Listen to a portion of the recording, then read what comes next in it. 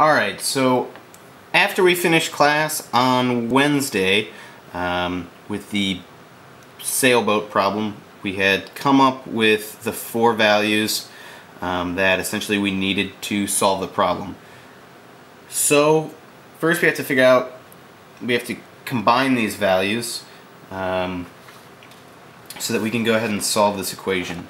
Uh, so each one of these applies to a spot on our triangle here, um, or actually both of our triangles. So we've got um, our initial velocity of the boat in its direction was 11.5 meters per second.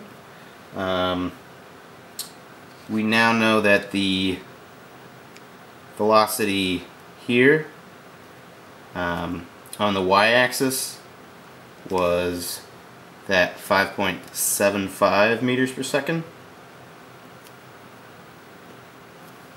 Um, we also figured out that the velocity here, the current, is actually negative, so we're going to have to subtract that out momentarily here. Um, which we also have our degree measures in here. Uh, this guy was 30 degrees. This one was 25.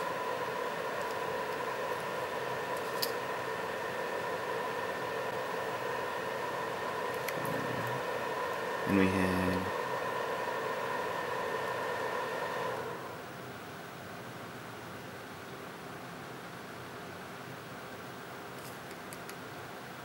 Okay, so that's our completed um, picture. So now what we're going to have to do uh, is go ahead and take our known values and combine them to get um, our resultant vector.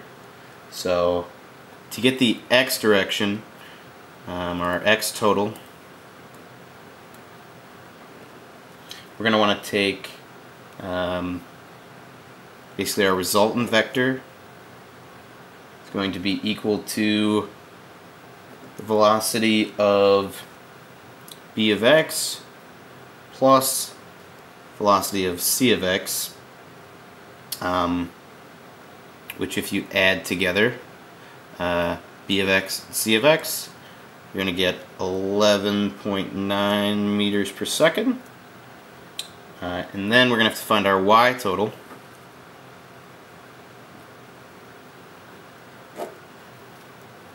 So, uh, or actually that's velocity. Okay. Um, so our y total is going to equal velocity b of x plus velocity I apologize. Let's see of y here. B of y.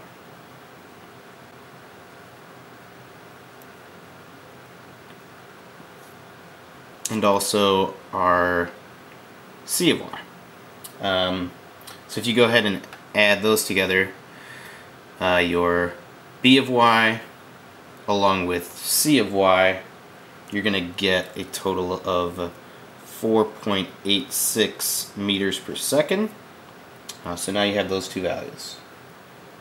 Uh, so essentially the last thing we need to go ahead and do here um, is find our last our resultant vector. Um, so that is using the Pythagorean theorem, which will be Vr squared um, equal to the xt squared, so that's the total that we had up here, um, plus the y total, which is this value. Uh, so once we go ahead and do that, we're going to have 11.9 squared plus 4.86 squared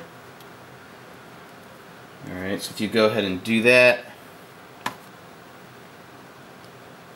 I get 11.9 squared plus 4 point, actually that's going to go ahead and round to, I believe that rounds to 4.9 actually, yeah, squared, um, okay, and then we're going to go ahead and take the square root of this 165.62,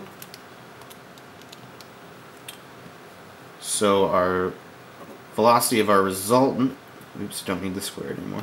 Um, it's going to be 12.9 meters per second. And that's in significant figures.